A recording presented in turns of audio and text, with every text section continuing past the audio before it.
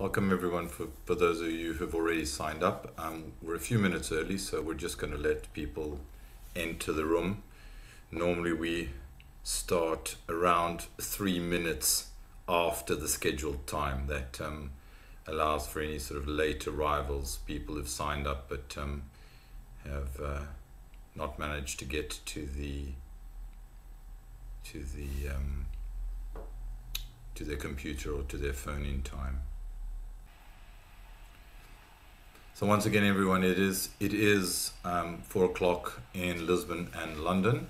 Um, welcome, everyone. I'm not going to start just yet. Normally, we allow around two to three minutes post the start time, just to allow any sort of late stragglers to to sign in. Um, and there are still a few people signing in. So please bear with us. It will not affect the schedule of the webinar as a whole. Um, we will still keep to within the time. What I am going to use these first few minutes um, for before we get started formally is um, to thank all of those who've already sent through questions. Um, I haven't had time to go through all of those, but we will go be going through as many of those as possible at the end of the webinar. Um, there are at least sort of 15 to 20 of those that uh, that were sent through. And any of those that I feel that we probably need to consult with a with a lawyer or someone on our legal panel then I will just skip over and and um, and then publish the answers to those uh, directly to the person who asked the question for example. Uh, but there is a Q&A um, part uh, or, or section on your webinar so feel free during the webinar to jot down a question as the topic arises.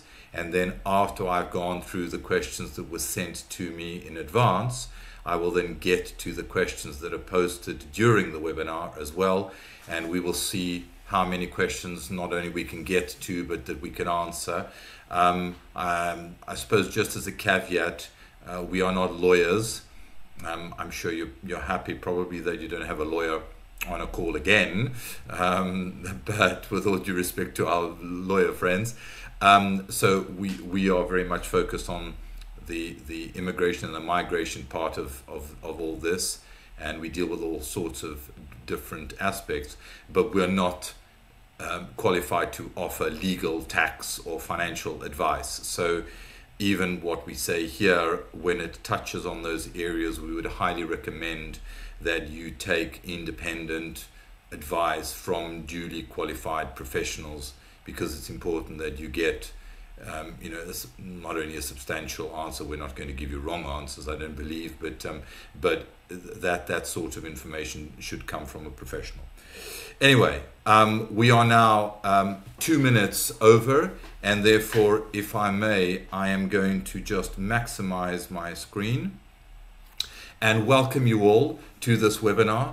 Um, it's the 27th of July, and you can see from probably from the small screen in the corner of, of uh, your screen that the sun is on my face. I'm sitting at the moment in Cascais uh, in Portugal, and um, it's been there have been some lovely uh, days here, um, but as we all know, uh, we have been facing globally some rather um, a difficult time. So our thoughts are with people in in Northern Europe, in China, even in the west coast of the U.S., uh, which have been really hammered by things such as wildfires. Canada, the west coast has been a heat wave. So you know um, we well know, um, and our thoughts are with you all. Um, um given that Portugal is often uh, um, a victim of some of these climatic changes. Um, we also hope, having been a, um, a COVID sufferer myself, that everyone is attending and their families are keeping safe. Uh, and that's really the most important um, aspect in these times where travel is quite difficult. Um, and this leads us quite nicely into the topic of our presentation today, which is about Portuguese residence and the paths to Portuguese residency in the current context, really. And I'm going to talk today for around 40 minutes or so on the two most common uh, routes taken to residency in Portugal, and that is the either the Golden Visa or the D7. And we're, hopefully, we're going to share some information that will allow you individually to get a sense of which one may be right for you and better than the other one. So, a little bit about us. Um, we were founded in 2014 as a business. Um, our focus really is on what we call IRM, which is International Retirement Migration. And as the name says, many of our clients and customers and, and, and acquaintances and friends are actually pre retirees or retirees. Although we do work extensively with families, especially those that are moving to Europe and typically uh, put their children into international schools, something of the sort. We work increasingly with digital nomads um, as well. Uh, we don't tend to work with many business people, and the reason being that Portugal is not really the ideal uh, destination as a business um, um, center. We don't tend to have a, a, hugely vibrant job market, with some notable exceptions, and the tech market is one of those. So there are some interesting, very interesting opportunities in Portugal around the technology sector. Um, some of you will have heard, no doubt, about the Web Summit, and that is a, a bringing together of of ideas and capital, the largest gathering of such type in the world, and that happens in Lisbon once a year around October, and it has been going for a couple of years and will continue for um, for around another six or seven. Anyway, we are UK headquartered business. We have destination markets, um, Portugal and Spain. Those are the two main foci for the business. And we have ambassadors, people that represent us as a business and what we do in a range of diverse markets such as Sweden and Brazil, the US and France. Um, in addition to the direct presence that we have in those markets. We have a multilingual team located in the regions of Portugal um, primarily concentrated in the Algarve, uh, Greater Lisbon, extending out west to Cascais, where I'm sitting at the moment, and Porto. We get inquiries from around 75 countries, uh, which indicates to us that this is a fairly broad topic, not necessarily people just looking to move to Portugal and to reside in Portugal, but the migration of people across country borders notwithstanding the huge limitations that we have faced as a result of COVID itself. This is still very much an active topic alive to many people around the globe. We have clients from around 30 countries, um, and we have many years of experience with the uh, schemes or the programs such as the NHR, the non habitual residency, the D7, and the golden visa. We often get asked by UK clients how we have so much experience, and we often remind them that the UK only um, um, left the EU at the end of last year, effectively, and therefore there have been many countries outside the EU before, EU before then, and we have been working with many of those countries, in particularly um, North Americans, so Americans uh, and Canadians. Um, they have been our clients for, for many years in these areas. We are the only company to work strategically with both rentals and sales Portugal wide. So, so we we are atheists in that sense. We do not mind if people decide to rent or to or to buy or to rent before they buy, but we we we understand that accommodation in the more general sense is a key aspect of a move to a new country. You must have somewhere to live, and so that that tends to excuse me that tends to always form somewhat of a focus of, of, um, um, of the work that we do. We also like to be democratic in the sense of budgets, and we try to go out of our, out of our way to help people with all sorts of budgets and we work with people with rentals from as little as 500 euros to 4,000 euros plus and property sales from as little as 75,000 to as little to as much as over 2 million. Now, I should make a point there of course that doesn't mean we can find a 500 euro rental in a location that typically rents for 2,000. It means that we can typically help people with 500 euro budgets in locations that have 500 euro um, rentals, for example. So I think I want to make the point we're not magicians, um, but we do work hard for for the people who ask for our help. Um, at the core to what we do is how we do it, and we do a lot of what we do by using a, a, network of specialist partners that we have built up over the years. We have around we have more than 50 um, of these specialists, including lawyers, banks, insurance, car importation companies, and so on. So often people gravitate towards us as a hub through which to use to, to through which to locate these services. And we have a network of over 120 real estate um, um, agencies, what we call listing agents. And these would be the people on the ground that allow us to work on your behalf to sort of locate um, properties, if you will, or, or, or, or, solutions in very localized market. You know, if, if one single company tells you they're everywhere, even a large institutional brand name that you'll probably know, that's very difficult to achieve because even a franchise is is individual and they don't necessarily have the granularity to get down to the detail. Um, in one of the regions, um, and people can certainly go and look at that. We operate via relationships with owners um, one of the largest long-term rental portfolios, and that's on algarvelonglets.com. And we also like to um, uh, be active in terms of understanding what the market is doing. And we are one of the most active businesses in terms of capturing data. We're not cap- necessarily trying to capture emails and telephone numbers and the like, but opinion of people um, who who are looking at moving to Portugal, and we we have a rolling survey. And at the end of this presentation, I will I will share with you the link. We will also afterwards share the video of the presentation in case somehow some of you missed a particular point, and we will share that link of the presentation with you. So.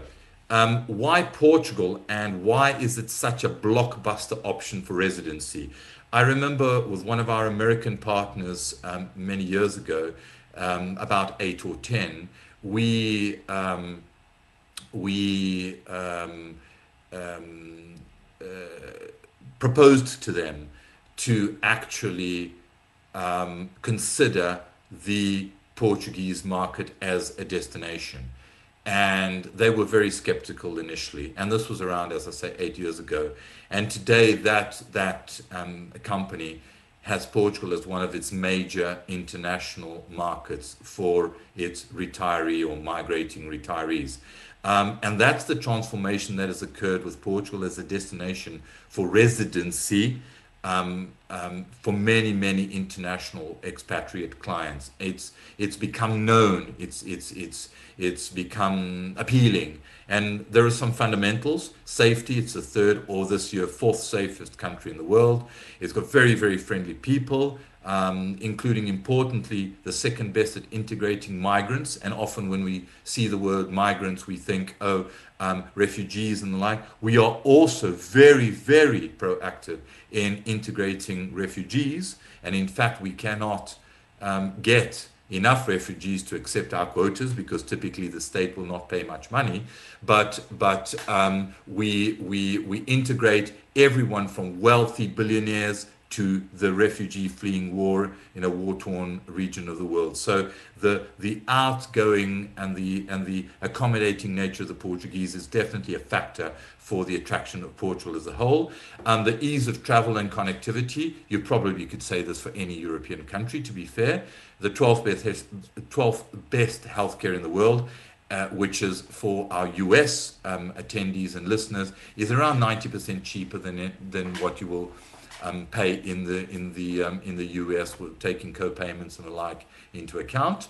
Um, again, using the US dollar as a basis for comparison, um, it's it's a fairly stable currency, the euro, and from an, a forex perspective, the rate is remarkably similar four years later um, to, uh, to, to what the rate was in 2017.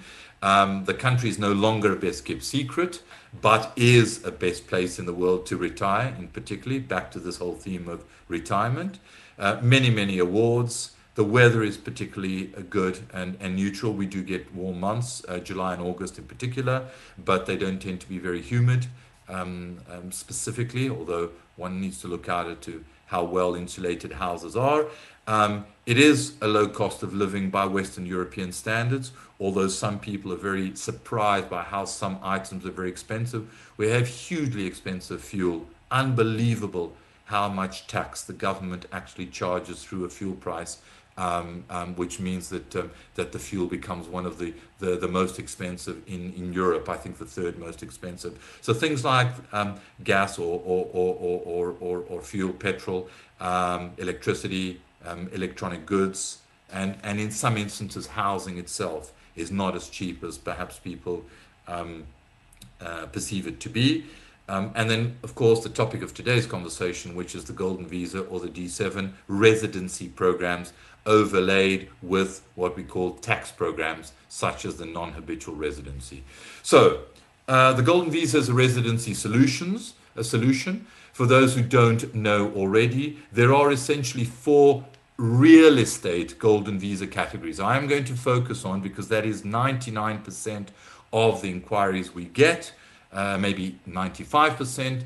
The other 4.5% are through investment funds, qualified investment funds, and then the remaining is through the turnaround of existing businesses, investment in the sciences, in the arts, and so on. I will not be covering any of those because they represent a very small percentage. And in fact, of the of the people signed up to this webinar, we only had one question about the non-real estate visa, which was about an arts visa, which I'll I won't respond to here. I will just deal with that separately. Um, the golden visa categories de- depend essentially on location and whether those locations are designated as high density or low density populational areas. And then within that, we have two uh, levels, if you will.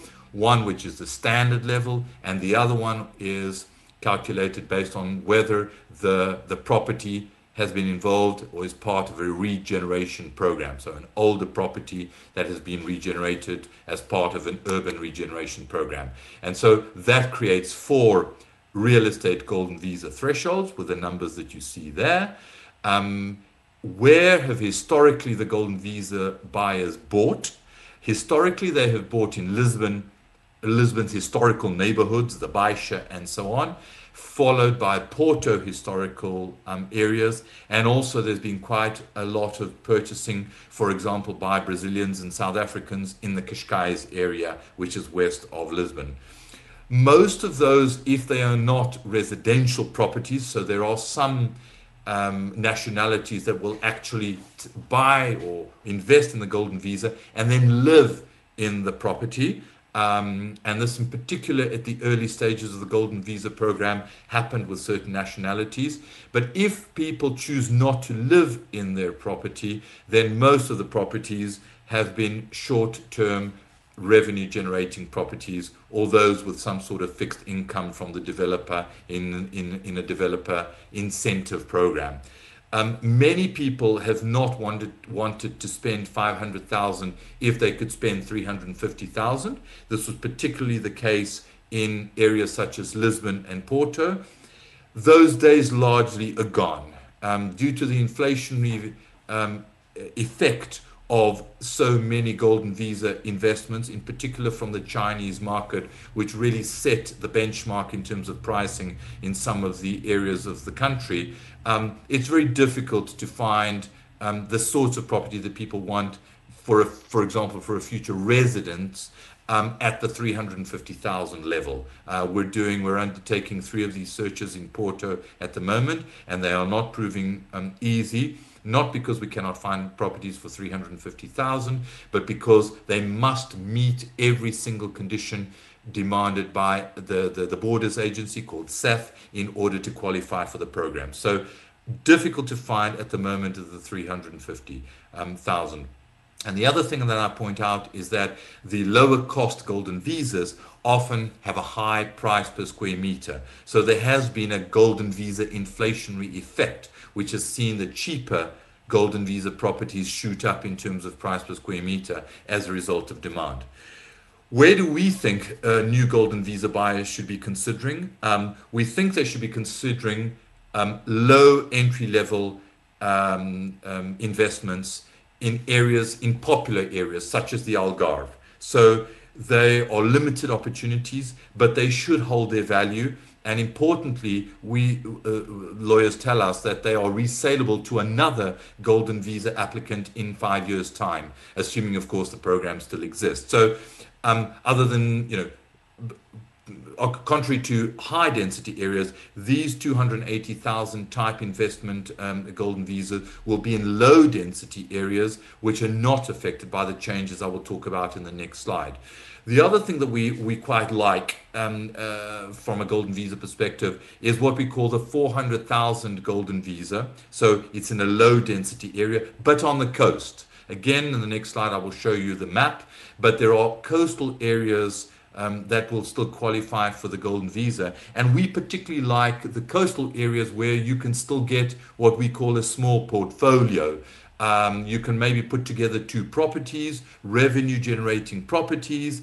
Uh, normally they would come with a with a with some sort of history, um, maybe not the property itself, but the area in terms of revenue generation, some interesting yields, and that still is a bit of an investment play for for an investment um, for an investor looking for the golden visa.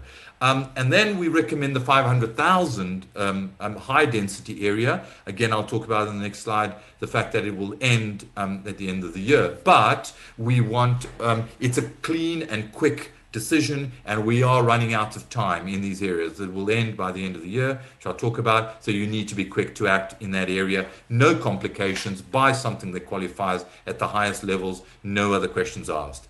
Areas to avoid at the moment, and this is time sensitive. We recommend avoiding the 350,000 um, refurbishment 30 years old in a refurbishment um, um, area um, or rehabilitation area, rather, I should say, for the simple reason that we feel that it's too short a time frame to answer all the questions in the main. So up until June of this year, we we we did say to people that there should be enough time you know, unless you're ready to move literally in the next week or so, we would say beware, buyer beware of that golden visa because it will have um, some some challenges in terms of bringing together the, the the documentation. And then the high density areas that are historical, because as some of you may have heard, there have been limitations on the issuing of short-term rental licenses in these areas, and so we do not want people to to find that they've bought uh, acquired a, a, property that then they can't rent out um, short term. Although having said that again, because of COVID, a lot of those short term properties have moved to the long term rental market. But in principle, the point is that that short term renting or what we call alojamento local will be limited in many of these areas. So what golden visa changes have um, are will come about um, effectively. The golden visa will end for high density residential um, um, acquisitions by the end of the year. Okay, so the map that you see on the left of the slide, the blue areas are all those that continue to qualify. The gray areas, apologies, I it may not be that visible to you, but my cursor is sort of going up and down. The gray, gray areas you can see mostly on the coast um, will be excluded, and the red areas are um, um, low density municipalities within a high density um, um, sorry, low density areas within a high density municipality, so exceptions. Um, so you will find that those of you who want to be on the coast in the main will not be able to access the Golden Visa program after the end of the year. Um, a few facts and figures about the program. Um, it offers residence, so something I'm going to clear up right now. The Golden Visa program offers residence, and citizenship is after is possible after five years of continuous residence, um, and you move from a from a, a, temporary residence during those five years to a permanent residence, and you do not have to apply for citizenship. You can obtain your permanent residence without becoming a citizen. So, two questions that we often get asked there. Um, the amount invested in the program to date, I believe, it's over six billion. Um, the Chinese are still the largest investors as a result of the historical investment they, they made initially into the program, followed by Brazil, Russia, South Africa, Turkey, and so on. Um, and there has been a tenfold increase from US applicants, but from a very low base. Um, the the the commercial and touristic properties will continue to be eligible in these high density areas, which will be excluded, from which residential properties will be excluded by the end of the year. Um, briefly, the closing costs on property purchases. So you have two you have two costs associated with the Golden Visa: buying the property and all the costs associated with it. And forgive me, sometimes these things change slightly. So I've got it slightly wrong. There will always be a, a quote given by the appropriate lawyer, but I think these are pretty close. Uh, the closing cost for the purchase of the property, you can count on spending five to eight percent of the purchase price. The transfer um, tax is a sliding scale from 0 to 8%. Land is fixed at 6%, and properties above 1 million is 7.5%. Stamp duty is fixed at 0.8. Legals of conveyancing typically 1% plus VAT, VAT is 23% on most services. Incidentals, including notary expenses and so on, is 500 around.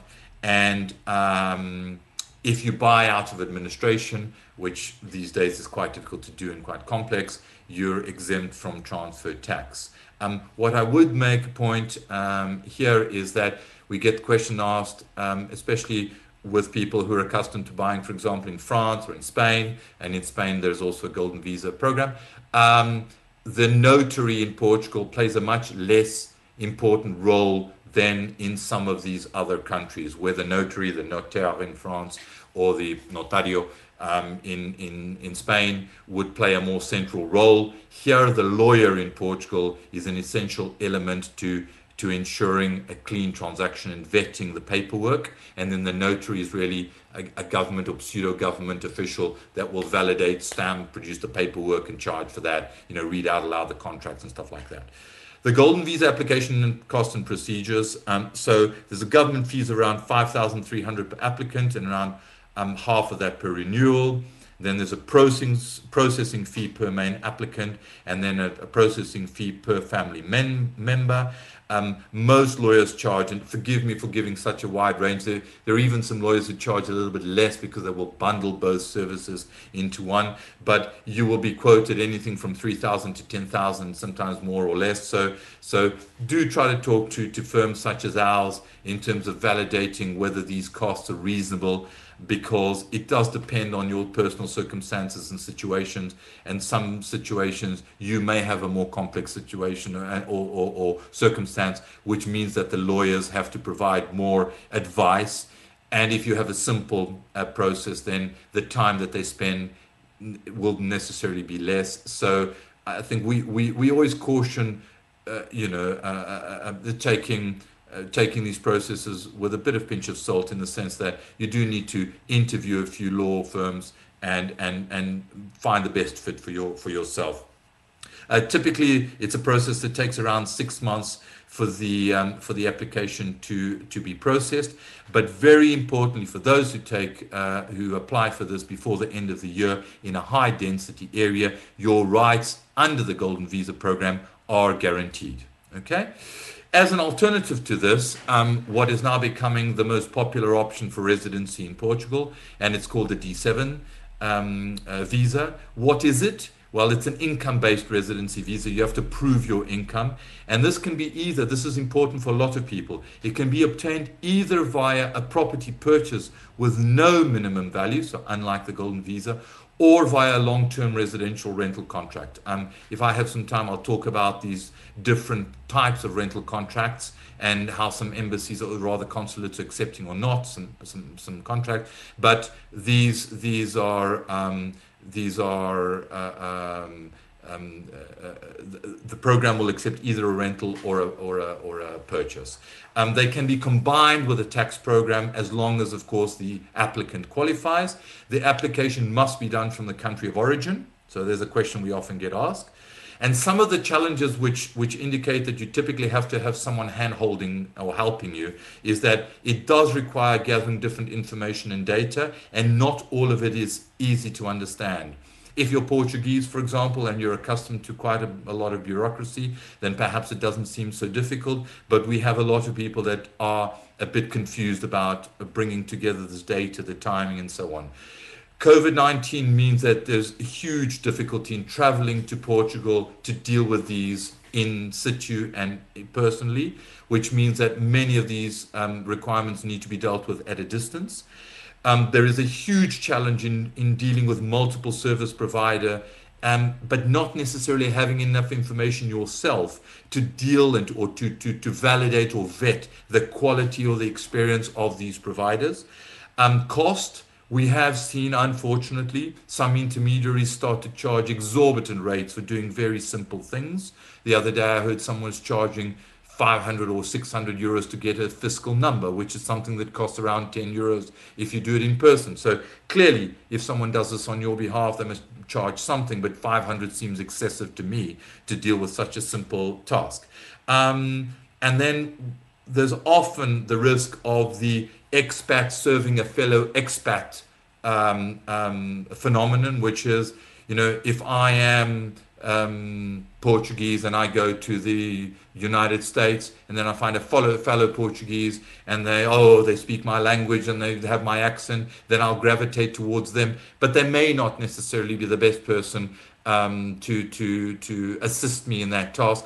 Why not take a local person, you know, an American in that case and say, well, help me with the, you know, the, the, the, um, the, the, the um, uh, the visa application or a local lawyer, or so on. The same thing applies in reverse. Be wary of necessarily. I'm not saying that people um, are or are not qualified. Just be wary um, in the moment of need to sort of gravitate towards a fellow countryman or countrywoman um, just for the comfort factor uh, where you should be looking at all options in the market. That's that's something that does occur. Um, many service providers are local or regional, and it's difficult to figure out which one to use if you don't know where you will settle. So this is often happens with someone who hasn't been to Portugal before or doesn't know it well. They know what more or less they'd like, but they haven't seen the places to know. So try to work with with someone who actually covers multiple regions so that you have the ability to to work with that intermediary or that partner um, across different areas. Be ready for slow follow up. You know, it's influenced by busy people, holidays, language barriers, and the like. But do not expect that if you're accustomed to coming from, for example, an Anglo Saxonic or a Germanic country, that you will get the same responsiveness from a Latin Southern European country. It will not happen in the main generally. So please prepare yourself for that sort of that sort of disappointment. Um, you know, otherwise you will be seriously disappointed. Um, and then the other thing, which is very frustrating even for us, and that is the consulates themselves, when they apply and take your application, they may apply rules inconsistently. So you may say some, you may hear someone else, a fellow countryman or countrywoman, that has said, "Listen, I got my D7 using uh, a short-term rental on the three-month basis, and your consulate's asking for a yearly." I mean, this is um, it's it's sad, but it still does happen, and we are still moving towards a um, a uh, sort of homogeneous type approach across all consulates, but it doesn't happen necessarily at the moment. So, in a summary format, these are the differences between the D7 and the Golden Visa. Um, the the investment level dependent on a region that is very much the case of the golden visa the d7 you you're not limited anywhere depending on a certain level of investment rental or purchase d7 you can use either a golden visa you can't rent and you can only purchase and within the threshold of your golden visa you cannot use portuguese debt. If you do an equity release somewhere else and then use that as a cash purchase in portugal no problem but you cannot take on local debt from a local portuguese bank. Um, there are no minimum levels of investment required for the d7 there are for the golden visa. No changes expected for d7 the high density will end for the golden visa by the end of the year in presence, in country presence required. Typically, the D7 will require you to be resident in Portugal, and at a general level, that requires 183 days of presence, continuous or non continuous, in the country per year. And the fiscal year is the calendar year. You'll see I'm trying to answer as many questions as I can while I talk on this. Um, the Golden Visa, typically one week per annum. There are pre requirements in both, typically around um, clean criminal records and the like. Um, you can apply for the non habitual residency status theoretically in both cases. But in the case of the Golden Visa, typically you have to be resident. And that, in most instances, uh, negates the reason why most people go for the Golden Visa, which is that they can't or don't want to spend as that much time in country. So it's very rare to find, in fact, I don't know any, of people who are non full time resident Golden Visa investors who also have NHR. Okay, multiple properties, yes, for the golden visa, it's not really applicable for the D7 because why would you buy multiple properties if you don't need to? And then the risk of overpriced properties, it's medium on the D7, especially in certain areas on the rentals. And then it's there is a fairly high risk of overpricing on golden visa um, properties um, in, in the more popular areas. I'm not going to go through a lot of detail on this slide, which is to, to you, but you should as someone who is looking at comparing the D7 versus the Golden Visa, you should actually decide whether you are more of a rental, a buying, or a rent before buying candidate, because that will influence which residency route you may take. Clearly, if rental is involved in it, the Golden Visa is a no-no. So you will have to go down the D7 or a similar, the D2 uh, type route. Um, but you need to analyze yourself, depending on your personal circumstances, which um, which one of those is, is more applicable. And we have listed some questions there, which you might, as an audience, want to run um, through yourselves in order to understand which um, which uh, is is best. I wanted to also um, delve into a bit more detail on the D7 because we get really a lot of these requests, and there are three categories of information that you need to pull together for a D7. The first is what we call category A, and this is key information that needs to be required uh, or gathered rather in the country of origin. Okay, you will need to do this by yourself largely, sometimes with a little guidance. And we always say, don't let anyone say that they can substitute you in this step because they will not be able to. Those who are in, you know, in places like the UK or the US, um, the Portuguese consulates use a, a company called VFS. All the documentation has to flow through VFS. It doesn't matter if I'm a lawyer or if I'm a consultant and I tell you I can help you. You, I will not be able to submit these things on your behalf. They are personal and you will need to do them yourself. So, things such as proof of income from pensions, investments, and the like, criminal clearance um, from the country of residence, typically 12 months, if you've lived in multiple, you will need to get multiple. The identification, your letter of motivation, and all this needs to be put together by yourself with obviously a little help here and there if you need it. The second category is category B, and this is information that must be obtained in Portugal or from Portugal, but often you're at a distance, so you can't do it yourself because you're not physically there. And this is typically where you need some assistance, you can use a lawyer. They will tend to be expensive if you use them only for this. Um, so there are many um, agencies or assisting agencies or companies like ours that deal with migration that will assist you um, in multiple areas beyond just these uh, uh, points. So the five key points, we call them the big five. Uh, they're getting a fiscal number, getting fiscal representation for non-EU nationals, health insurance initially for traveling um, under the D7 application, a local ba- bank account which has to be funded, and there's debate about how much is, uh, uh, uh, it has to be funded, proof of accommodation, either rental contract or proof of ownership of a home. And then the third step, which is category C, and that's for many people who do obtain residency, but this is not compulsory for the application, but it's very useful to have. Um, the first is a Forex account to save money on international transfers if you're not coming within the EU or the Euro, uh, the EU area, which if you're attending this presentation in principle, you're not. Health insurance once residency is granted, so private health insurance to complement your national health insurance, and then tax status, status such as the NHR. And then briefly, and this is a guideline, so please don't go out into the market then and say, oh, Luis de Silva told me you'll definitely charge me this. Um, this depends on the supplier uh, and it will vary. But category A, um, which is what you gather in country, there is a um, uh, the proof of income, pensions, and so on. This is your cost, your time. Typically, it's zero cost.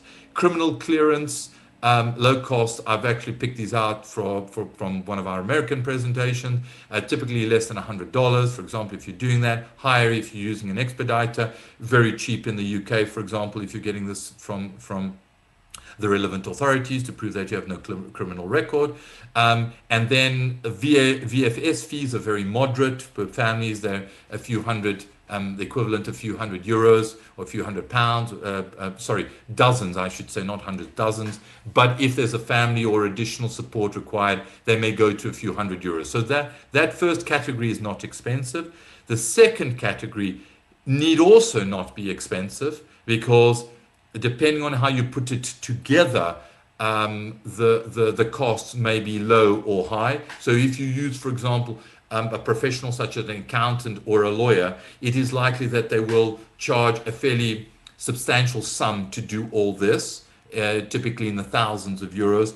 But if you use someone who brings together these solutions or you do it yourself, you will find that you will be spending probably a few hundred euros. Okay? Um, that is a myth that you can do this all yourself. Um, even if you actually take the action, um, you will always be consulting with fellow people, um, you know, fellow, not fellow people, fellow countrymen or countrywomen, of course there'll be people, um, um, experts and, and whatever, and you will be picking the brains of people. So um, I get quite irritated, to be very frank, for people to say that they did it all alone. They didn't all alone. There was a there was a, a, a gracious soul somewhere on the other side of a of a Facebook group or an email or whatever that actually helped them and guided them or gave them an introduction to someone. So please, you can't do this alone, but you can do it with help from other people, and that need not always be expensive. Firms like us, we sell services, of course, but you don't always need to use us. And, and there are many services that we provide and others like us provide that are very cost effective. And honestly, if you if you paid 50 euros to get a fiscal number if you by the time you spend two hours investigating unless you don't really value your time at all those 50 euros are peanuts and you know and and um, and they should be they should be paid anyway so those are some of the costs. I won't dwell on those much more um, uh, anymore because I want to get to the questions. And I'm just going to point out, in terms of what we do as a business, where you can find some more information on this in addition to emailing us. So, um, Property Finder Portugal, which is encompasses this finding of the accommodation solutions for people who are moving to Portugal. You can use that email, um, no problem, and one of the team will respond. Then there are five sites that I would like to point out if you're looking at retirement living and you just want to get a sense of what retirement in Portugal would like, um, algarveseniorliving.com is an information filled site. Okay, you find a lot of information on that. Um, if you're looking at finding properties and searching, the methodology is described at propertyfinderportugal.com. If you're looking at an example of the type of winter lets or annual lets and what you'd expect to pay, the style of properties, and so on and so forth, look up on Algarve Long Lets. If you're somebody that's looking to retire into a retirement community, then look at a, a project called lugeliving.com. And if you're somebody looking at focusing on the D7, then Move to Portugal 101 actually outlines all the steps, and then you'll get a sense of, of, of, um, of what is required to put that in place. And then you're never going to remember this, of course, but if you come back uh, to the presentation, we would very much appreciate, and we already have your email addresses, so we're not going after emails, but if you have five minutes and you can and you can um, uh, respond or, or, or, or uh, to the survey which we're running, this is very useful because it adds to the pool of data. We discuss this often with the tourism in Portugal to, to, to try and drive them to, to, to initiate new programs for, for, for expats moving to the country. So this information can then be reused to help help other people's uh, other people similar to yourselves. Okay. Now, I'm going to stop sharing my screen, if I may, and I am going to um, just um, bring up some of the questions that I have been asked or that have been sent to me um, from um, from all of you. Um, and what I'm going to do initially is I'm just going to read out the question, and then I am going to um, well give an answer hopefully. And once I've completed those questions, I will also come to the Q and A because I know that there are a number of questions that have come up um, onto the um, um, on the, uh, the, the, the Q&A. So while I'm answering these questions, please feel free to add additional questions onto the Q&A and we will try to get through as many of those as, um, uh, as possible. Right. So the first question, and this is in order that they've been received. So the people who signed up first jotted down their questions first, and I'm just reading those out first. I haven't I haven't really gone through all of them. I just took a quick look through. So forgive me if I'm seeing them for the first time as you are, as you are listening to them. So question is, I have a Spanish nationality friend currently living in Portugal. In my D7 application, can I say that I'll stay with him as my proof of address? The short answer is yes.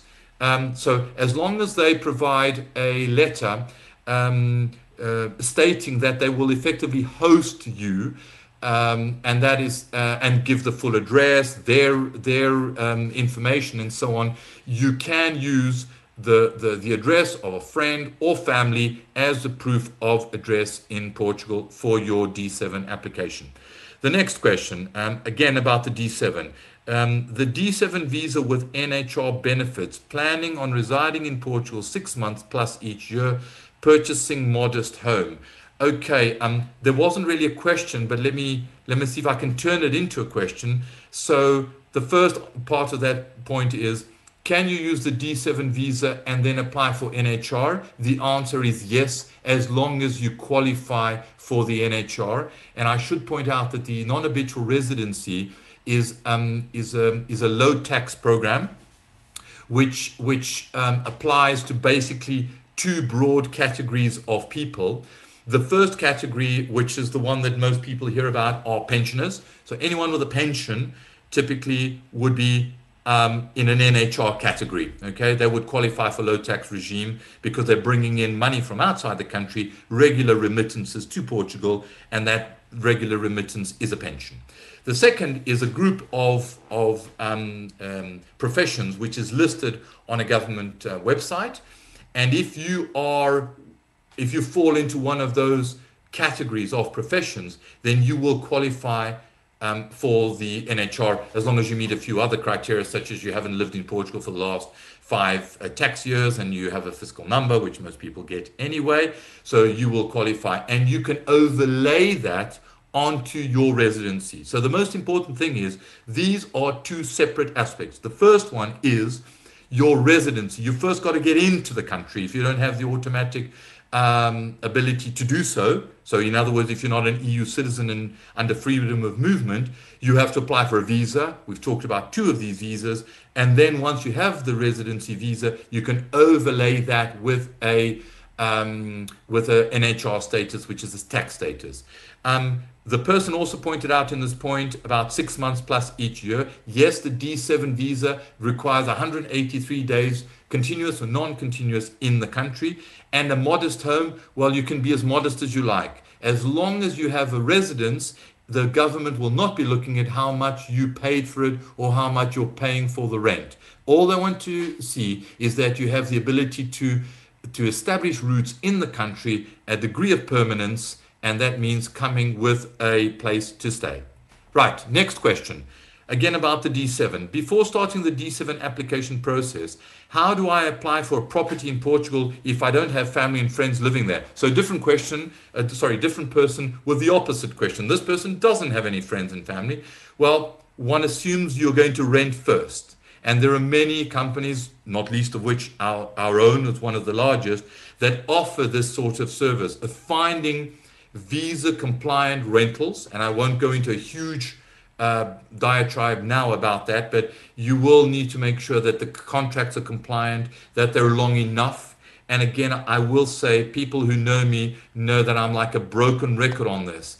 Even if your consulate tells you that they will accept a three month rental, do not do that. Because when you get into the country, there will be a number of other entities, such as the Borders Agency, SEF, your local municipality or junta de freguesia, your finances or your fiscal office, any of those entities are liable to ask you for a proper residential contract. So if you've come on a short Airbnb for three months and suddenly you find yourself in, as has happened this year, we've turned away at least 200 people who have all asked us for contracts starting, compliant contracts starting in the summer. Impossible to get because unless you're doing a very bad job of, job of marketing your property, you will at least have some summer rental. So please, please, if there's anything you take away from this presentation on a D7 side is do not go for the easy route of going on Airbnb, negotiating a great winter rate for two or three months, and then finding that you're arriving in Portugal and having to reach out for an urgent, compliant contract. Okay? Um, hopefully that's answered that one. What is the process of getting citizenship in Portugal if I have a farmhouse? Right, well, um, the farmhouse itself is not going to help you qualify. Um, Port- Portuguese citizenship is typically possible through one of different um, routes. And this would be, for example, through what we call reagrupamento familiar. So if another family member already is a citizen, and you can join um, them. Um, um, but the most typical route is if you've been resident in the country for five years, then you can apply for citizenship. You'll have to do a test, a language test to prove you're sufficiently proficient in Portuguese and so on. But that's that's the root. So the town, uh, sorry, the, the the I was going to say townhouse, the country house, the farmhouse is only relevant in as much as it provides you with a, a base, a residency, an address from which to get your residency, and from then you get your citizenship. Okay. Next one, any minimum age limit. We are 33. Can a D7 holder work part time or full time? Can I show no passive income but sufficient amount until I'm 60? Well, I'm not quite sure what that other sufficient amount will be until you're 60. Um, but the the passive income really they they want they want recurring. Or when I say they, the government wants to see recurring um, income, and it must come from a recurring source. So if it's work, that's typically not passive. So a pension would be, an investment would be, even turning, you know, um, a bulk pension amount into into into something that then dribbles out money over the years. That could be. So these sorts of things are considered um, um, um acceptable typically if you're working then that's not the right visa to, to, to apply for however if you do qualify for the d7 you can still work so unlike the non-lucrative visa in spain where you cannot work thus the name non-lucrative visa. In portugal there will be no limitations on the kind of work that you can do within reason you know it's legal work. Uh, you'll have to register yourself if you're performing this work um, locally or you may have to do some other things if you're doing this internationally. And you can still benefit from the non-habitual residency if you can qualify. So the answer is you can still work but i'm not convinced from your description in the question that your type of income will qualify for the d7 what are the best ways to avoid high taxation well um, I'm assuming the person is referring to the programs in Portugal, such as the non habitual residency. Um, because those will be low tax programs. You do not want to come to Portugal to pay low tax. It is a high tax country, generally. As, as, a, as a percentage of, of, of, of, um, of the average income, it is one of the highest in Europe um, and certainly disproportionate to what people earn. So um, you're either coming because you want a calmer life, a lifestyle choice, you know, for all the reasons I've cited in the presentation, or you're coming because of that and you can manage to get some low tax program such as the non-habitual residency do not come to portugal for example expecting to find easy work or work um, or for low tax that's not a good fit should remote workers go for d2 or um, d7 um, um, it depends on how entrepreneurial or your activity is. If you're delivering services, and again, I want to caveat this. I'm I'm giving some general answers based on my interpretation of the question. This is not advice, but simply information aimed at helping you listeners get a sense of what's possible. So, um, if you're doing remote work and you're delivering that as a sort of sole trader, if you will, individual name, a consultant, and so on, a D7 as a retiree consultant, for example, is is is, is great. It's a, it's the right way. If you're going to create a business and actually make an investment, be entrepreneurial, create a new venture, then the D2 is probably more of a of a of an applicable um, route. You can still deliver the, the, the, the, services remotely, but it's in the context of an on, entrepreneurial um, um, venture, if I can put it that way. Um, D2 versus D7, and what if you start with D? Unfortunately, the person's put ampersand, um, which I'm assuming is the 7 because it's above the 7. Then get an idea for a business. Can you start one on a D7? Right. I'm assuming the question here is can you flip between a D7 and a D2? Well, the answer is probably you don't need to because if you've been approved under a D7, you wouldn't restart the process because the D2 is also applied for from another country and you're already in the country under a D7, so you wouldn't bother doing that. Um, does investing in or buying into a company make a difference? I'm not only going to cover this, but there is a possibility of getting a golden visa, which involves investment into turning around a failing um, Portuguese com- company. Obviously, you need to do due diligence on that, but I'm not going to cover that pos- that topic. But it is possible.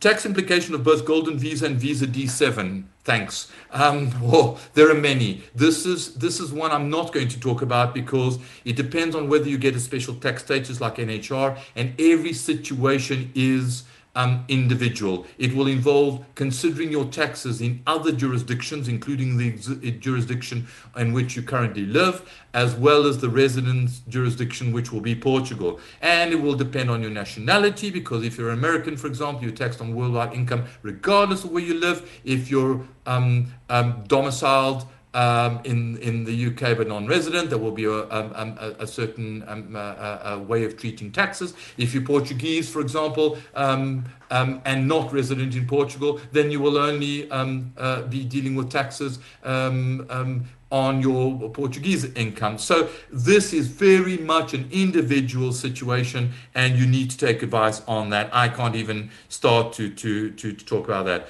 Right, international school, public school, which one is less using Portuguese? International school monthly fee, how to open small business in Portugal. Well, middle class monthly expenses. Right.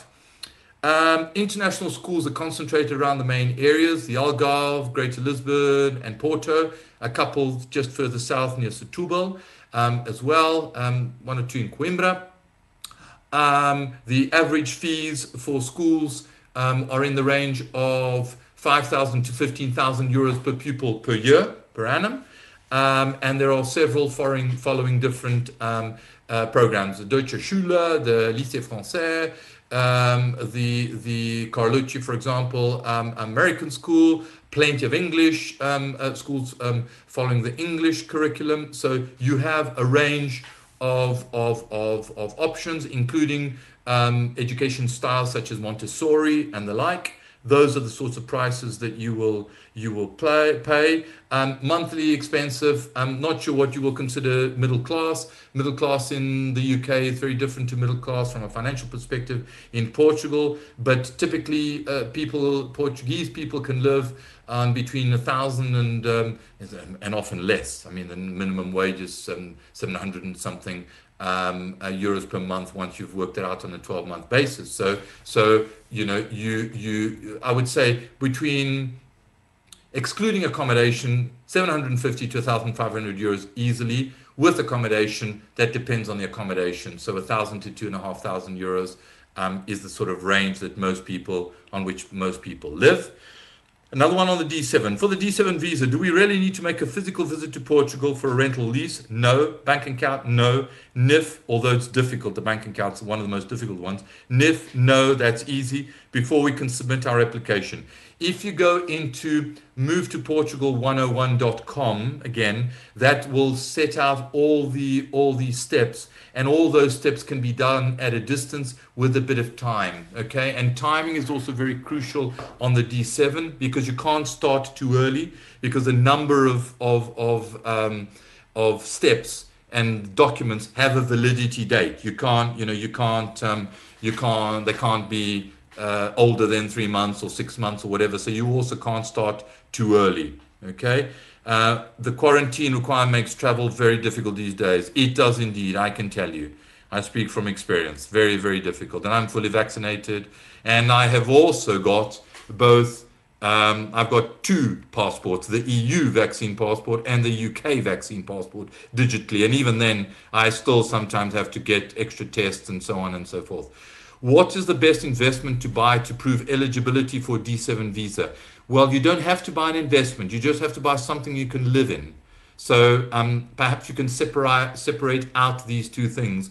Um, but if you're asking, if you're only going to spend six months in your property and the next and the other six months renting it out, then you need to analyze um, this on a case by case basis. What I would say is if you're applying for D7, you want to live somewhere. So I would not look at this as an investment first. I would first look at where you want to live and that may imply having to rent first and then buy but don't constrain yourself by by trying to figure out what what to to um, uh, to to buy as an investment and then find that it's not something in which you wish to live so so please be conscious of that this should be a, a personal decision you know from a buying perspective so we are about up in an hour, but I still have it easily enough for at least 15 minutes of questions. So um, if those of you um, need to, to sign out, please do, and we will publish this. But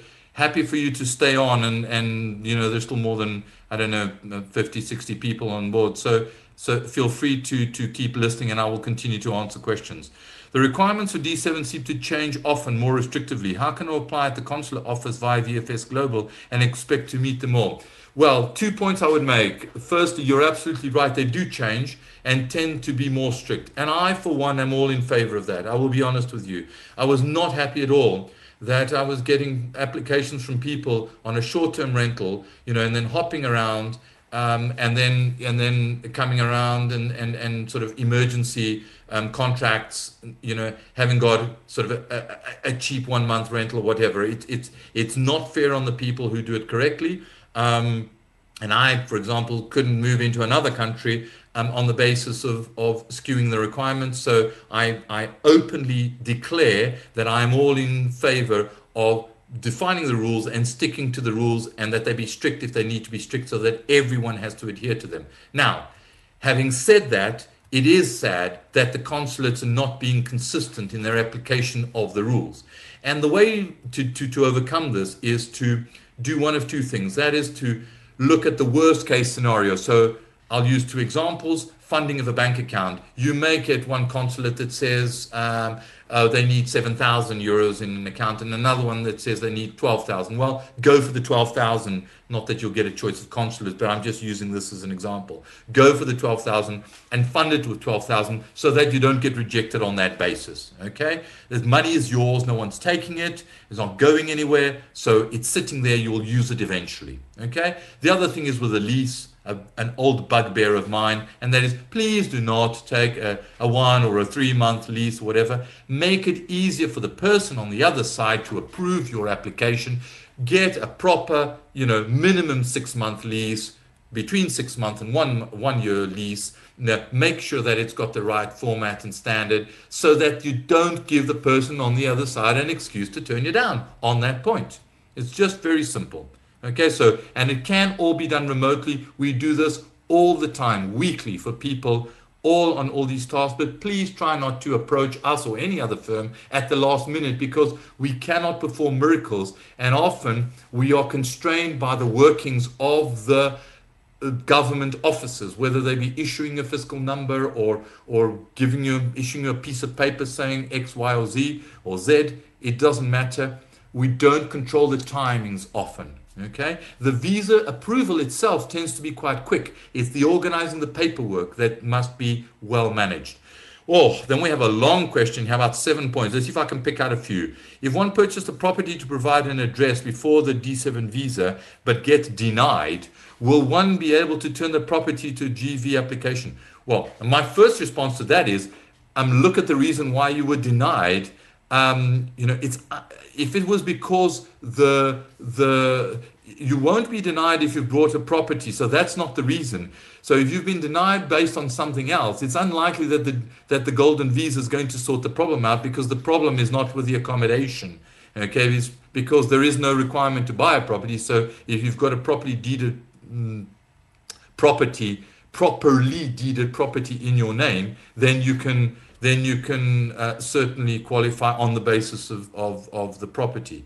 Uh, do the GV qualified investment fund ever decrease in value and can investor uh, lose money? Well, theoretically, yes, because it's a fund and values can go up as they can go down. So I'm not talking about funds here, but it's an investment. So there is risk in relation to any investment, as there is with real estate. The market can crash in 2000 as it did in 2008 and 2009. So please understand that none of these things that you do, such as an investment fund or even real estate, you know, obviously real estate is generally very safe and over time is an appreciating asset, but there are risks associated with all things in life, and this will be no different, but, but clearly some offer less risk. Is it common for Portugal real estate agents to represent both buyer and seller simultaneously? Yes, unfortunately, in my uh, opinion. Is it the case, however, that one of the agent is working for both sides and this undermines the interest of the buyer or the seller? Well, most agents, um, you know, and and and we are an agent ourselves, um, but we are a finder agent, so we don't list properties in Portugal. We we find properties. But most agents will tell you they will work in your best interest, and most will. And let's be fair. I mean, there are many, many good professionals in the market, and they will. But I have a point, and those who know the US market will understand that there is a difference between a buyer and a seller. And I'm a big believer that a buyer should be represented by a buying agent or by a finder agent. And they should and they should try to work with that person if possible exclusively and give them the trust. And that trust must be earned. And what you will do in return is that person will work for you and will work hard for you. And they will find many options. They will not be trying to sell you necessarily a single product or a range of products from their portfolio. They will go out to the market and find what's available and act in your best interest so in a short answer to your question anyone, any agent, and even in good faith, because there are fantastic agents all over the world, just as there are some bad ones as well, but there are some fantastic agents everywhere. But if anyone tells you that they are less motivated or more motivated to go and talk to a partner agent um, than they are to sell their own inventory, that I would argue is stretching the truth a little bit, especially because the remuneration model in most of the real estate agencies um, in Portugal, we're talking as a Portuguese presentation, is based on the success of selling their real estate, their listings. They get more commission because they don't have to share. So it's just the logic. It's a business of making money. They sell money by selling real estate, and therefore, um, it's logical that they would make more money if they don't share. So I'm not because we are a buyer agent but because I believe in, not only I should say, because we're a buyer agent, but because I believe in that model, um, the buyer agent should, wherever possible, be separate to the selling agent. Okay? And that means that the buyer agent will earn less because they will have to share with someone. But that's okay. That's okay because they can do a good job. Um, are there government websites where you can check the uh, valid, validities of brokers and businesses? Yes. IMPIC and um, in Portugal list the agents, the listing agents. Um, I'm going to jump over because this person's had a lot of time already. Um, so I'm going to jump to the next person. That person can always write back to me or I'll respond um, afterwards with, with the answer to the other questions. As a British citizen, I arrived in the EU before Brexit and COVID. Um, so if it was before Brexit and COVID, that was probably before March of 2020, because I caught COVID in March of 2020, I, and I was one of the early victims of COVID, um, but have not been able to leave. I have Greek residency, but been in Italy over a year under COVID and not been able to obtain residency due to living on a boat. Would I be able to get a D7 visa? So the short answer is yes, but you will need to comply with the residency requirements. So the proof uh, the the um, what do you call it? The the the uh, security um, um, clearance uh, criminal records clearance certificate of the countries in which you have been staying. And you need to be prove you need to prove that you have been staying there. So if you cannot prove you've been living on a boat you may have to move back to your home country and apply from your home country after having been there for 12 months. Okay? So can I apply for NHR on a golden visa um, if I only plan spending about 7 to 14 days in Portugal, and what is the process? Simple answer no. Um, how long does it take to apply from D7 and get the visa? Um, it takes about three to six, uh, sorry, it takes a, about um, a, a, a, month to a month and a half, depending on criminal certificates, typically to put together the information. And it typically takes, allow about three months for the process to get approved because there's a statutory maximum, which I believe is 90 days. I could be wrong on this, 90 days. But some consulates are delivering the, the visas a lot quicker, sort of less than 60 days. So um, a month a month and a half uh, to get the stuff ready. Um, three months for the application, six months total for the entire process, not longer because there will be limitations on the validity of uh, some of the documents that you're expected to provide. And you know, make sure those. Right, now I'm going to jump, jump over to the, uh, uh, I'm going to try, right, to the chat. Right, what is the minimum monthly income required associated with requirement associated with the D7? Uh, and again, I'm going to try and rush through these. Um, um, sorry, I didn't start at the start, but I'll just answer that one anyway. Uh, typically, we use a benchmark which is double the minimum wage, so around 1,300 euros per, per, per applicant um, uh, per month uh, should do it. Um, you then have to um, you then have to prove funding or bank um, account. Um, please send your contact details. Um, we'll we'll we'll post the presentation, but I will just uh, property finder Portugal. Let's see if I don't make any um, spelling mistakes here. Um, I will type this in here in propertyfinderportugal.com and you can email, um, uh, but it'll be on the presentation slides as well. Next question was, can I apply to D7 from abroad? You must um, apply from abroad.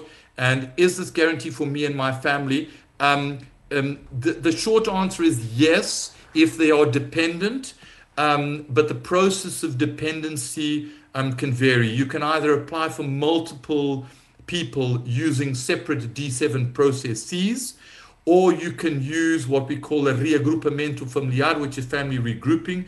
Portugal is very family friendly. We do not like to separate families. And as a result, as long as you find someone who is able to properly manage this process, um, I hear very few cases of people being rejected at family regrouping. Um, be aware that you have to prove, even with children and with parents, I'm not sure if grand, grandparents qualify, I would have to check. But anyway, with immediate descendants and ascendants, ascendants, they have to prove, you, you, you have to prove their dependency. So, for example, um, up to 25 years old, you can have a child register on the golden visa, for example, as long as they're in full, full-time education and dependent on you.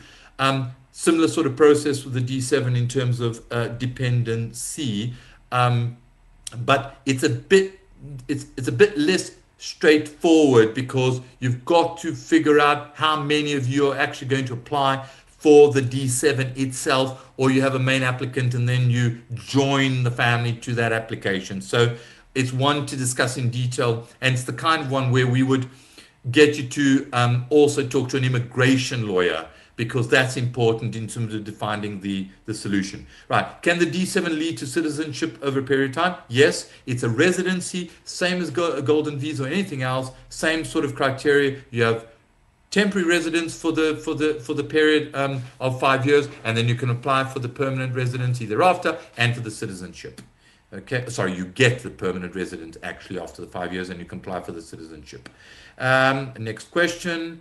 Let's see. I don't know. Somebody is publishing their um, um, address in Santa Monica, California. So I don't know what the question is, um, but oh, maybe they're signing their question.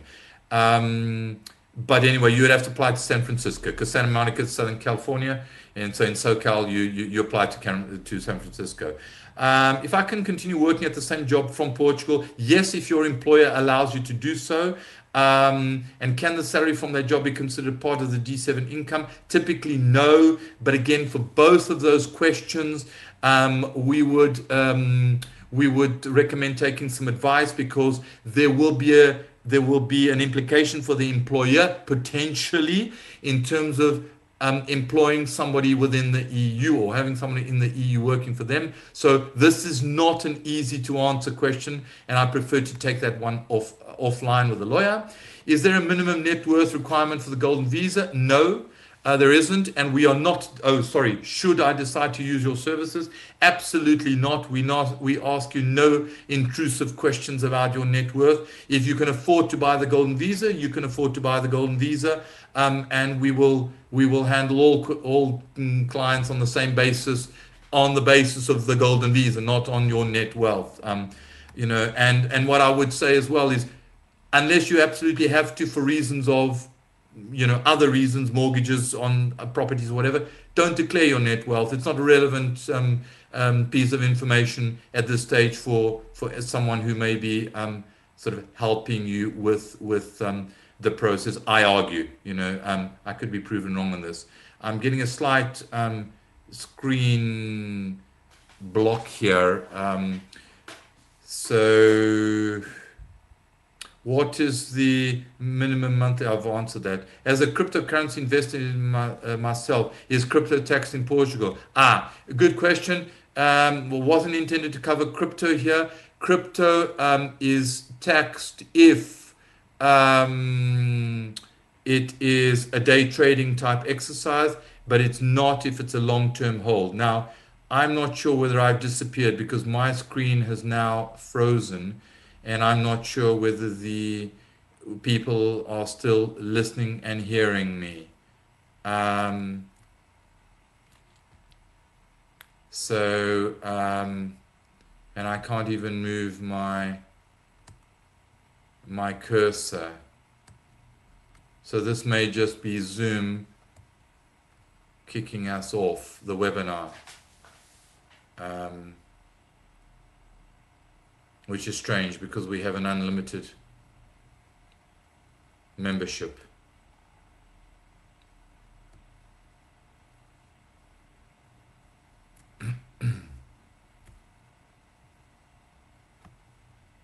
right, well, ladies and gents, I, am not sure whether you can actually see or hear me, but I, I can no longer see. Oh, hang on. Let's see what's going on here. Um, I'm having some technical issues here, and I'm I'm loath to reboot the um, entire present uh, uh, computer because it may then with oh hang on we're back. Apologies for that ladies and gentlemen. We we went off air. I was just about to sign off but i will keep going. So cryptocurrency question. Um, crypto is taxed if it is a day trading exercise um, and it's not, I believe, if it's a long-term hold. Okay, so again, one which we have specialist um, lawyers who who deal with um, crypto traders. If you need introductions in that sense, we are happy to to do that. Um, next question: What are the documents accepted for proof of income for D7? Is a tax return required or bank statements and contract? A combination of all of the above. Um, again, fairly detailed question, but um, we can help out with, with, with sort of um, explaining that. But a combination of those typically typically is useful.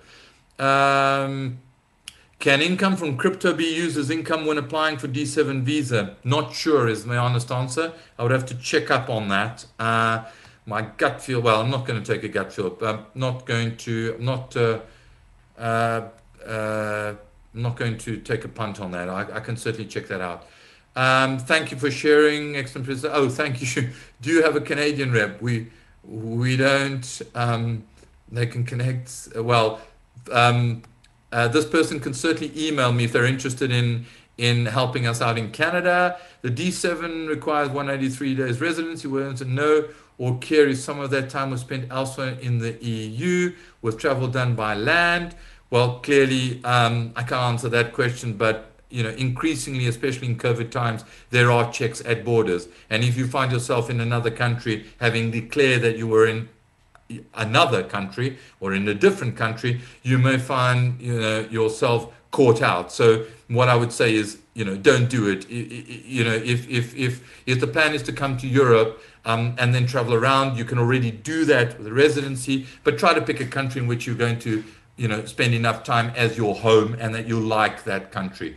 Um, Um, so is liquid net worth a proxy for stable income? As a general answer, initially I didn't think so, but people are being approved um, on D7s on the basis of their net worth and proving that they have, for example, certain assets sitting in bank accounts and the like. So, so, um, so then, um, so the short answer is yes, but I wouldn't guarantee it because I, I have seen some discretion on this basis on the D7.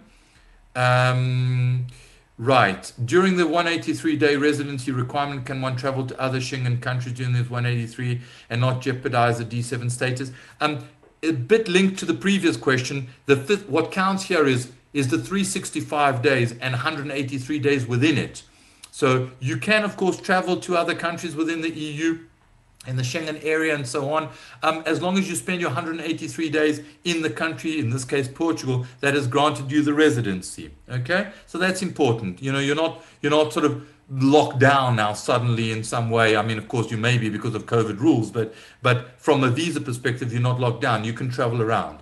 What documents? Okay, I need to prove income from a property, rental agreement. Um, yes, rental agreement. So the question here, what documents are needed to prove income from a property, rental agreement?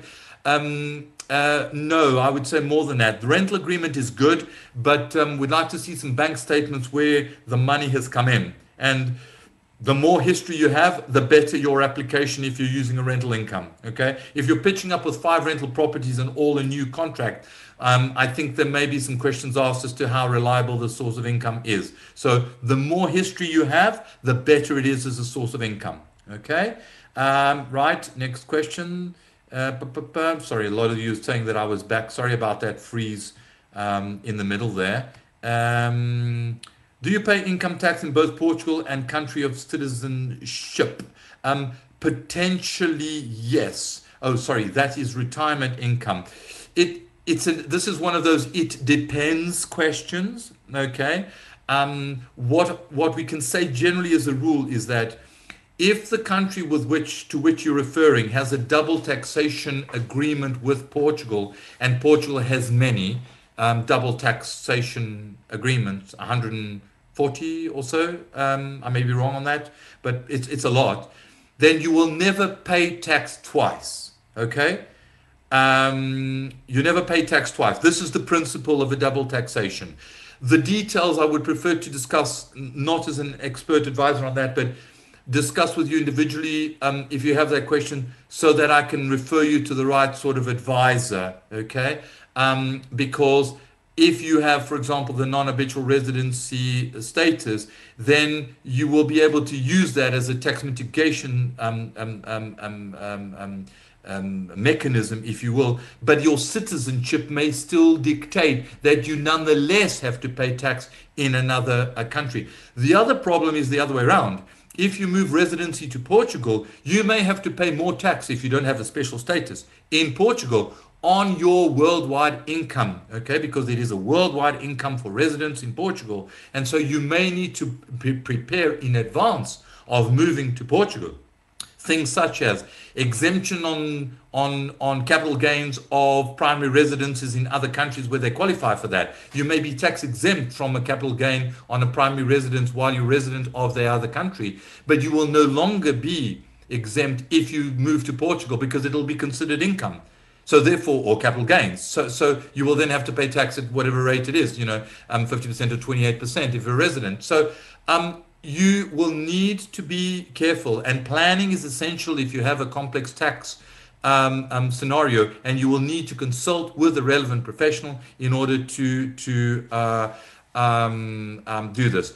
What kind of independent professional work is allowed in PT for the D7 visa? Well, any legal um, professional work is allowed. Uh, typically, it isn't um, it, it isn't limited at all. You're qualified to do what you're qualified to do, and you can do it. From a tax mitigation perspective and qualifying for the NHR, uh, um, um, uh, what do you call it, um, status, that will then be profession related. You will have to have certain skills and fall into certain professions. But that's a different. If you're if you're not applying for NHR, you can do whatever type of work as long as it's legal. You can do whatever type of work you like um, in Portugal and deliver that work in Portugal or remotely and pay the relevant tax. Is there a minimum income requirement? What if one were to deposit, let's say, five years of that requirement in a Portuguese bank? Does that put to bed the income requirement?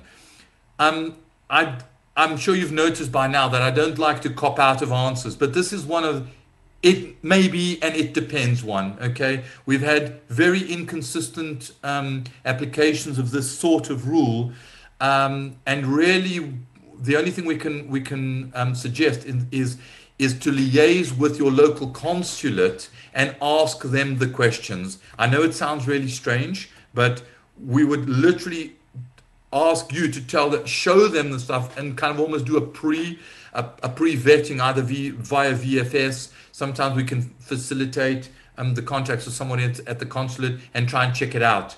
Um, the general rule, route is you've got to prove the passive income, but sometimes you can prove as an alternative the the the um, the, the the sort of sort of a, a, a, holding of sorts. Okay, if one is approved for D7, but later it turns out that one cannot live 183 days in Portugal, can one then change it to a GV? Well, you couldn't change it to a GV, but you could still apply for the golden visa. Remembering that if you have bought a property for as the qualifying accommodation for the for the uh, D7, that that property may not of itself qualify for the golden visa okay? You may have to do it again okay? And if you've rented for the d7 well definitely you'll you'll need to buy something for the golden visa. But the short answer is yes you can start again with the process. Right.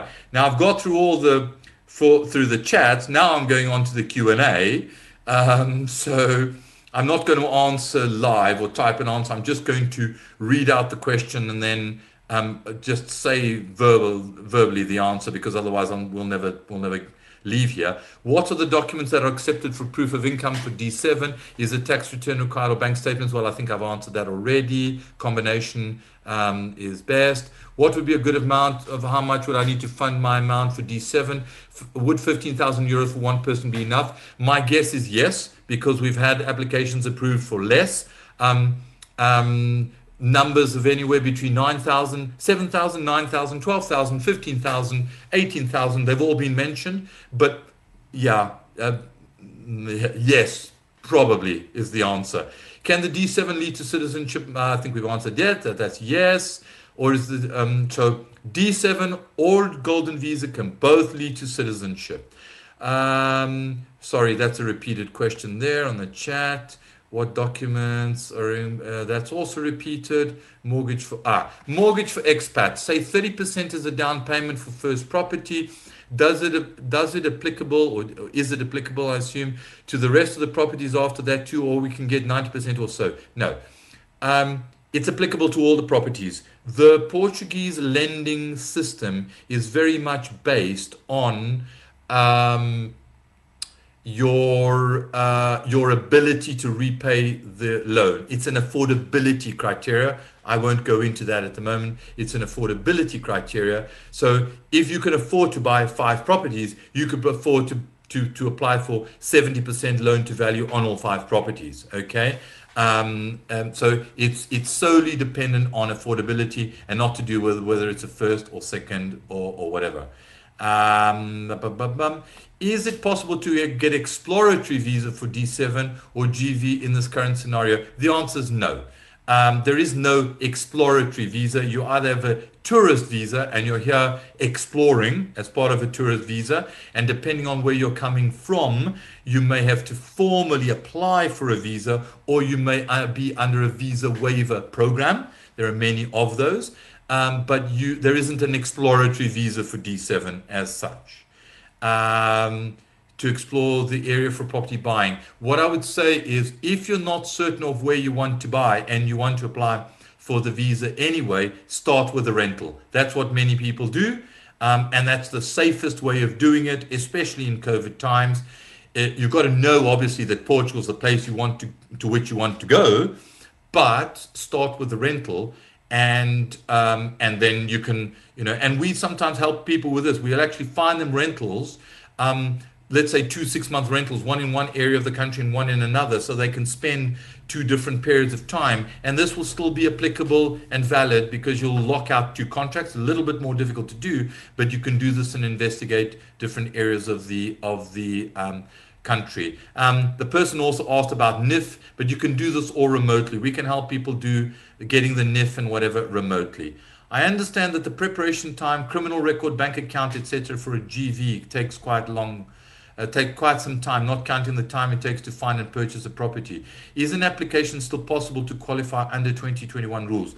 Let me be clear again about the GV program in 2021. The GV program continues for all low density areas as it is at the moment. There is no change. It only ends for high density residential properties by the end of the year.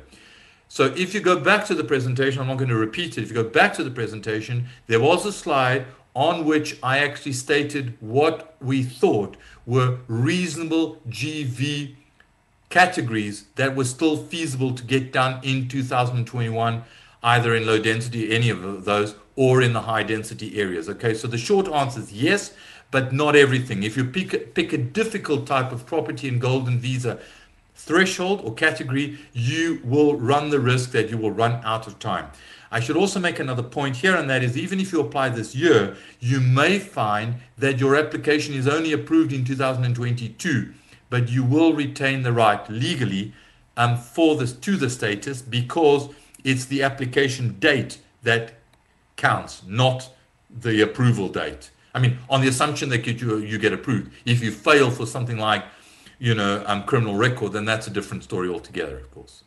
Um, so I've talked about the crypto, um, uh, concerning how to prove income. Right, I think I've answered that one.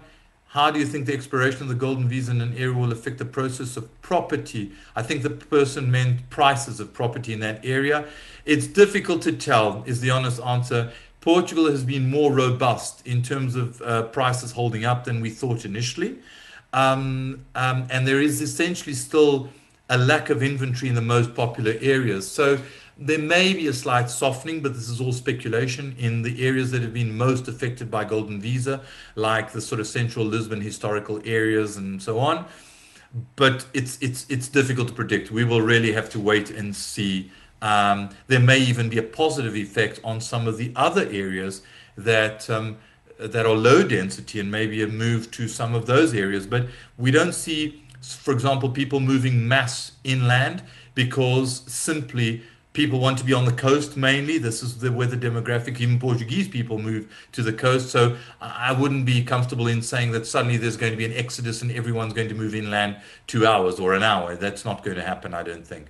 Um, can siblings apply for GV together? Yes, but you still have to pay um, twice the um, twice the amount. You can't split. You can't split the um, the amount and sort of do two hundred fifty thousand each. It's an individual application. Um, if one sibling is dependent on another and you're doing it via family regrouping, that's a different question. Um, how do you think? Oh, sorry, that's that's I've answered that one. With the GV, I know I control the knee, but I live somewhere in there. No, no. So the answer, so can I put the GV in Portugal and live in Italy? The simple answer to that is no. That's the same type of, of question. Um, um, sorry, uh, sorry, the GV. Sorry, I thought you were saying the D7. So can I get the GV in Portugal and live in Italy? Tricky question, right? The answer is probably no, because a residence under the GV in Portugal gives you residency rights in Portugal. It doesn't give you residency rights in Italy. You can travel to Italy and visit, but you cannot go and live in Italy. Okay, residency is a is a status uh, uh, uh, conceded by a state, a nation state, and so you cannot use one state to go and reside in another. It's like going to Canada and saying and I want to go and live in the US. Well, the US isn't going to accept you. Canadian visas is, is irrelevant. Um, so the same thing. Okay, you can travel to these places, but you can't go and live in them. Right? Um, then a couple more questions on the chat, and then we're going to wrap up. Um, uh, um, is there, sorry, um, can you buy two properties, one 300K and one 200K, and apply for GV? Absolutely. So multiple properties you'll see on one of the slides.